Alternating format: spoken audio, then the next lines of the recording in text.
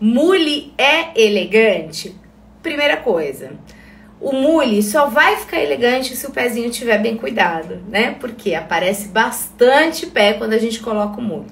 Uma outra coisa interessante com relação ao mule é que ele tenha também um saltinho mínimo, não precisa ser com um saltão, mas um saltinho mínimo para ele ficar longe do chão. Né? Ele vai ficar com um aspecto mais elegante, mais sofisticado. E aí você escolher também em uma modelagem que tenha elementos de estilo mais elegantes.